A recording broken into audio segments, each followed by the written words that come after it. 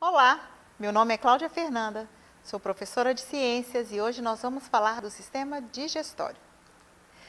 O sistema digestório ele está relacionado aos nossos alimentos, a nossa alimentação, a forma com que nós nos alimentamos.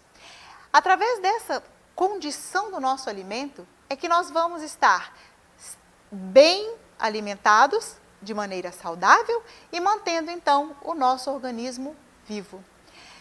Pensando nisto, nós temos três processos que fazem parte do meu sistema digestório: a ingestão, a digestão e a eliminação. A ingestão é a parte onde eu coloco no meu organismo qualquer alimento, não só o alimento sólido, mas também o alimento líquido, os sucos, as águas. Bom, na digestão, a digestão ela acontece dentro do nosso organismo com a quebra destes alimentos. E a eliminação é aonde os nossos restos de alimentos que não são aproveitados pelo meu organismo vão ser eliminados. Pensando desta forma, nós vamos fazer da seguinte maneira. Quando a gente tem uma boa alimentação, este processo alimentar, ele acontece de uma forma bem tranquila. Quando eu coloco qualquer alimento na minha boca, ali já começou o meu processo digestório. O alimento ele começa a ser quebrado pelos dentes, que são importantes, e também organizados pelas glândulas salivares, que eliminam líquido, que começa a fazer a quebra, a, secre a secreção, para que ocorra a, o apanho desse alimento, para que faça ali a formação do bolo alimentar para que eu consiga absorver de maneira correta todos os nutrientes necessários para o meu organismo. Vamos lá. Pensando dessa forma, tudo começa na minha boca. Logo após a minha mastigação ser feita de uma maneira bem tranquila e bem feita, este bolo alimentar ele caminha para a minha faringe. Chegando na faringe, ele também sofre um movimento muscular. E começa então o processo do andar o meu bolo alimentar para que ele chegue até o meu estômago. Antes, ele passa pelo esôfago. Aí, chegando lá no meu estômago, este alimento ele vai encontrar o ácido gástrico.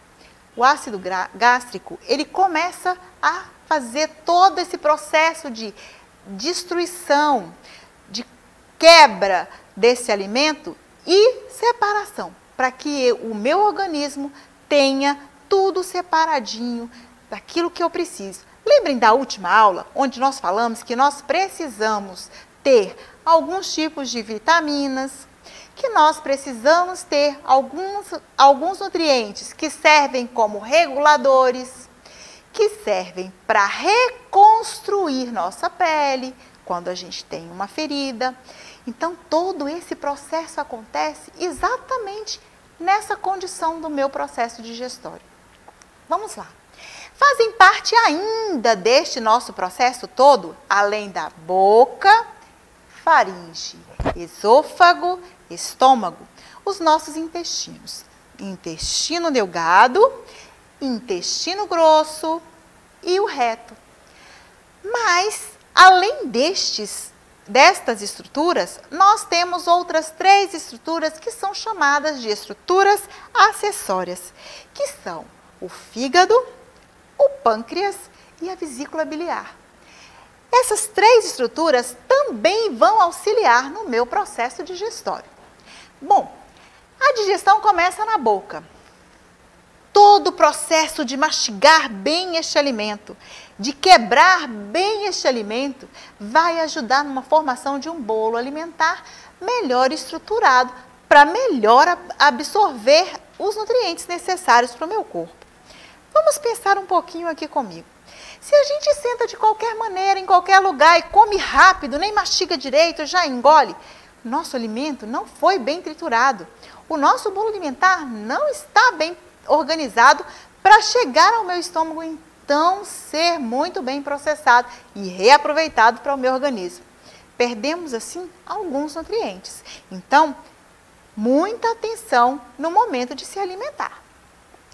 O bolo alimentar, o bolo alimentar, ele segue pela faringe, chega ao esôfago, através de um movimento chamado movimento peristáltico. O movimento peristáltico é aquela sensação do apertar e soltar, apertar e soltar, o que faz com que esse alimento ande por todo o meu organismo. Pensando desta forma, ele vai chegar no meu estômago, se misturar com o suco gástrico e aí começa o processo digestório propriamente dito. É aonde a gente vai ter o quimo. O quimo chega no intestino delgado. Quando ele chega lá no intestino delgado, ele sofre algumas ações de secreção junto e com a produção do pâncreas e do fígado, então ele vai fazer com que aconteça a transformação desses alimentos. Bom, passou pelo intestino delgado, chegou no intestino grosso e aí, lá no intestino grosso, só vai chegar aquilo que eu não preciso mais. Aquilo que eu já não vou mais, o meu organismo não vai precisar para mais nada. São os restos. E aí ele começa a ser preparado.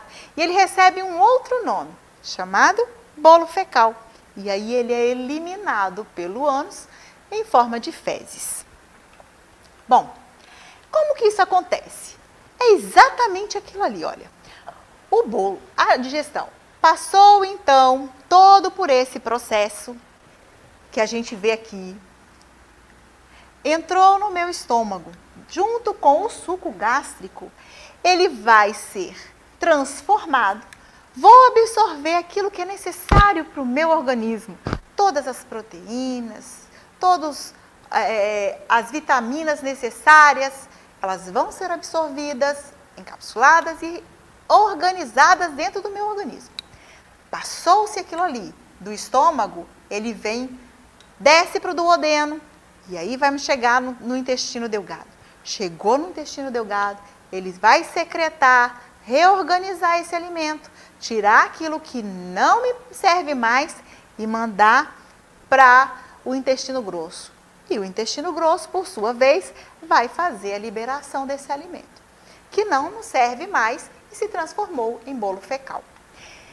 O estômago, ele é dividido em porções. Então, nós temos o fundo do estômago, o corpo do estômago e nós temos o duodeno.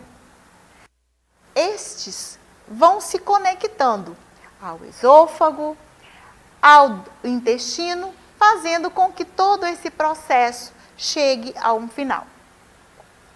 O intestino delgado, ele é dividido em três porções. Ele é dividido no duodeno, no jejuno e no ilho, que também vão sendo partes, por ele ser muito extenso, aonde todo o processo de separação e quebra desses alimentos vão ocorrendo. Bom, no intestino grosso, nós temos os colos e nós temos na ponta deste intestino o reto e o ânus. Ah, nós temos uma estrutura que alguns de vocês já podem ter escutado falar, que é a apêndice.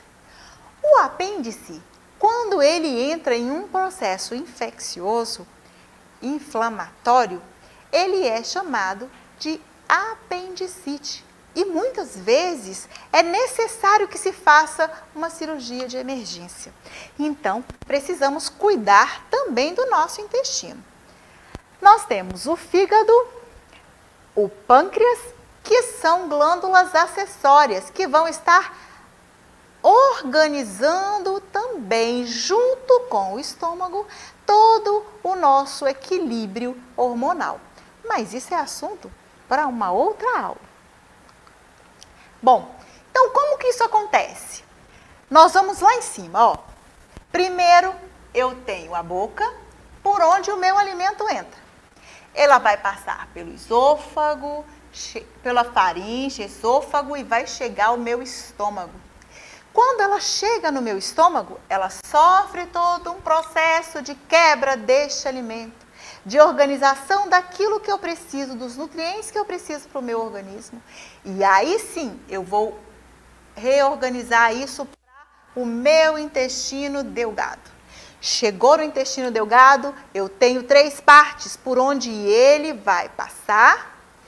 E à medida que ele vai caminhando no meu intestino delgado, a, todos os nutrientes vão sendo organizados dependendo da necessidade do meu organismo. Aquilo que eu não preciso, aquilo que não tem necessidade, o meu organismo não vai mais reutilizar. O que, para onde que ele vai então? Ele vai para o intestino grosso. Chegando no intestino, no intestino grosso, todos esses restos são organizados em um bolo fecal. Esse bolo fecal, então, caminha até o reto e é eliminado pelo ânus. Assim, os nossos alimentos ficam estruturados no nosso organismo. Aquilo que eu preciso, ele é aproveitado cada parte do meu alimento e aquilo que eu não preciso, eu vou simplesmente eliminar se eu tiver uma boa alimentação e uma boa ingestão, digestão, para que aconteça também uma boa eliminação. Bom, vamos pensar numa atividade. Pensando em tudo aquilo lá que a gente falou atrás, onde começa meu, a, a minha digestão, aonde todo esse processo caminha, como que ele termina, vamos pensar ali Pensando nos números, colocando o nome em cada seta, como ficaria o nome de cada estrutura pensando nessa imagem? Vamos voltar aqui um pouquinho nessa outra.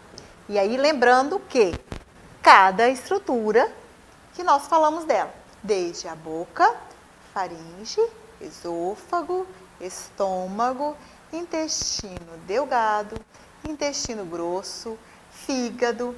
Vamos pensar em como nós colocaríamos o nome nessas estruturas. Vamos? Conseguem pensar? Vamos lá. A número 1, um, boca. Número 2, fígado. Número 3, esôfago. Número 4, estômago. Número 5, lembram? Pâncreas. Número 6, intestino grosso. 7, intestino delgado e 8, reto. Bom, né? A gente aprender? Vamos aprender então mais um pouquinho usando as nossas bibliografias. Com elas, a gente consegue aumentar o nosso conhecimento. Nessa segunda parte da nossa aula, nós vamos ver de uma maneira mais prática e visual como que acontece e onde acontece esse processo digestório. Bom, tudo começa aqui na nossa boca, quando nós ingerimos qualquer alimento, seja ele sólido ou líquido, como eu falei anteriormente. Logo que o alimento entra na nossa boca, as nossas glândulas salivares, que são glândulas acessórias, elas começam a liberar líquidos que vão ajudar no processo de digestão. Logo depois, eles passam pela nossa faringe, chegam ao esôfago e logo após, esse bolo alimentar ele chega ao nosso estômago. No estômago, ele encontra o suco gástrico e começa aí um processo de quebra maior e separação e organização dos nutrientes necessários para o nosso organismo. Logo após esse processo ser feito, ele vai percorrer todo esse processo e chegar no nosso duodeno, atingindo então o nosso intestino delgado.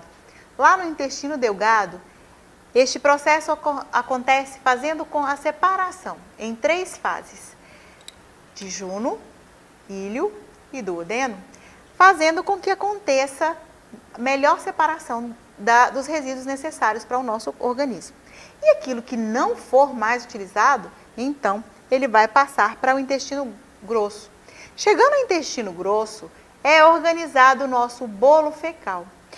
Logo após, ele caminha indo assim para o reto e sendo então eliminado, fechando o nosso processo digestório. Nós temos como é, glândulas acessórias o fígado, que se encaixa, e temos também o pâncreas e as glândulas salivares. Para acessar a nossa plataforma SMED-GV, Basta apontar a câmera do seu celular para a imagem que aparece no canto da tela. Não deixe de se inscrever em nosso canal do YouTube SMED GV. Tchau, tchau. Até a próxima.